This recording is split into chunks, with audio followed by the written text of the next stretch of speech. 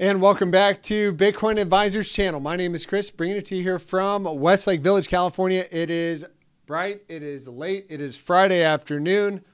Wanted to wrap it up with the daily close, closing up here in a day. And after the volatility surrounding the FUD with the Bitcoin ETF, uh, apparently the SEC had not nice things to say about good old BlackRock's ETF. So we had a lot of volatility surrounding that event, and uh, what do we see here? A indecision candle, and what I was looking at, Bitcoin on the daily time frame, momentum is beginning to wane. So I wouldn't be surprised to see uh, the wicks on both sides get tested for this daily candle, and a little bit more volatility. Uh, volatility is starting to wane, so you would expect price to, you know, perhaps uh, come down. We'll uh, cross back up above 30,688 tomorrow. So is everybody going to dump it in everybody's face and call it a dump party, or is uh, Bitcoin going to take the upside route over the weekend and surprise everybody? Why is today important? Well, we have a six month closure happening in about two minutes. And what does that mean? Well, a six month uh, you know, girthy green candle like this typically implies more upside in the coming six months.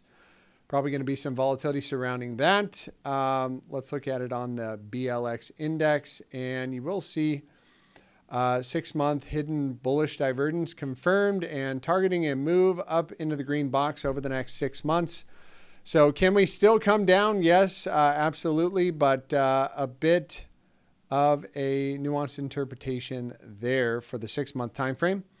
And again, that is a very powerful time frame. So you would expect, um, you would expect, you know, uh, price continuation there. What else do we have? A weekly time frame CMEs are going to close today, which is Friday. You also have the six month and the quarterly uh, also closing today. So let's just check in on the three month, and that is a bullish continuation candle if I have seen one before. Um, what else do I want to bring up? Some of the other charts today. Aave having a huge run today. Um, up another 11% today. And this one does look like it wants to break out, uh, breaking the daily downtrend and uh, a major horizontal coming in on the weekly. Aave is something I would keep my eye on um, if you are into decentralized lending uh, type currency. if that's what you want to call it, not financial advice, not a financial advisor. And you got Bitcoin Cash really taking it to the moon here. Um, this one up 267% off the lows. And where's it going to stop? Well, according to the daily, we have got the freshest high of the year and a huge volume candle. Is it going to go for more? Will trend continuation? Let the trend be your friend till the end of the trend. You've got two days just racking it up there and three days as well.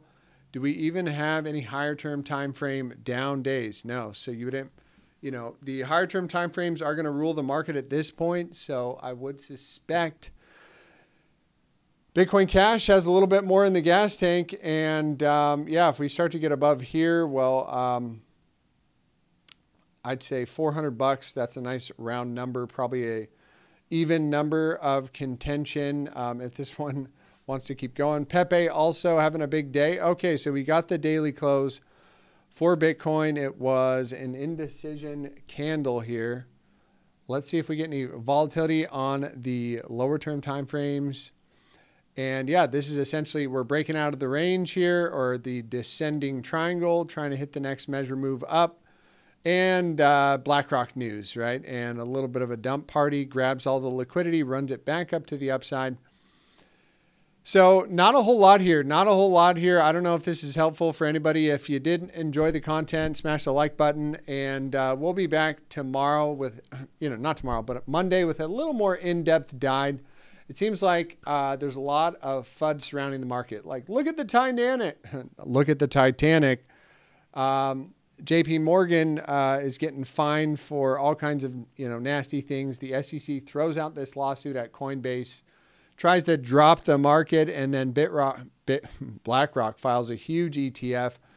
So I would I would suspect with the the you know the hype and the volatility, you know, some trend continuations. With that, I'm going to sign out.